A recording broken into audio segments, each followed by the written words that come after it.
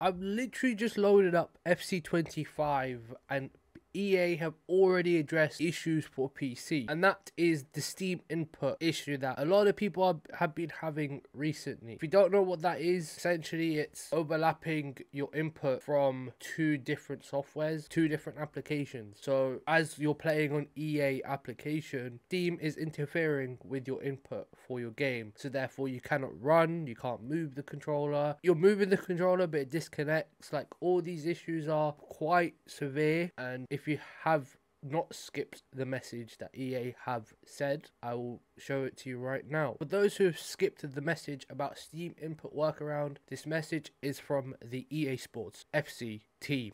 So, here is what you have to do. For the players on Steam who are experiencing controller issues when playing with Steam input enabled, please try the following workaround. Disable Steam input if it's enabled for EA Sports FC25. Additionally, please disable the EA app overlay by following the steps below. Open EA app. Use the same EA account linked to the Steam account to log into the EA app. Click the top left hamburger menu with the three lines. It's basically the three lines everywhere you see like in the menus. Click applications, scroll down until you see in-game overlay option. Make sure the option is unselected. Thank you for thanks for your patience and we're working on the future title update to address this issue.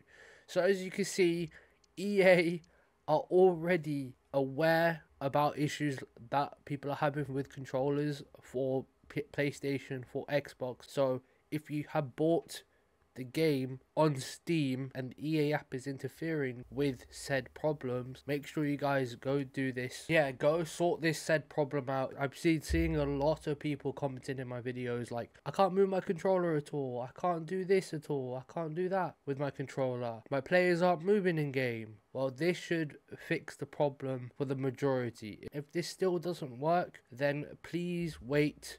Be patient. EA are literally saying we are working on a future title update to address this issue. So EA have actually woken up this year for PC.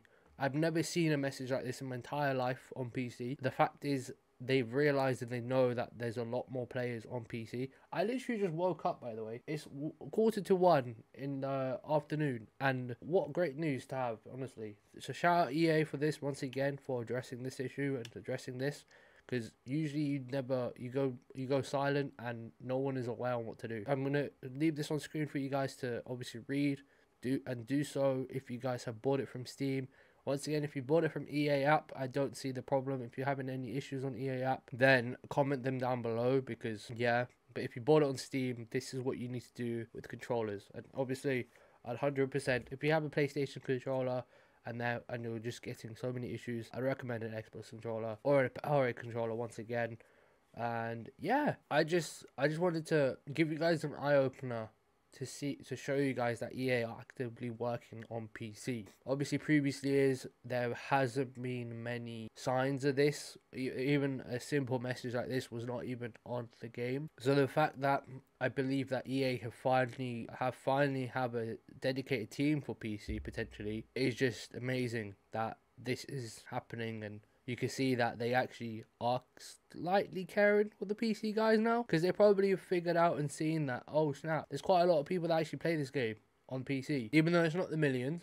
It's uh, a couple hundred thousand, but there's quite a, still quite a lot of fan base and uh, quite a lot of people that play this game on the PC. So that's what they're doing. That's what they're trying to show that hey, we're working on it. We're gonna address it in the later update. Just awesome that a company like this is actually processing and understanding. Hey guys, we've actually messed up. Here's the actual way to fix the problem. And we haven't had this for what three years. So shout out to EA for finally flipping caring about PC. And yeah, I just wanted to make this quick video because a lot of people in my comments have been asking about I can't move my controller. I can't do this. I can't do that. Well, here you go. If you guys have bought it on Steam, here you go. It's been a Waja. Subscribe to keep up to date with all the EFC 25 PC shenanigans. Take care and peace.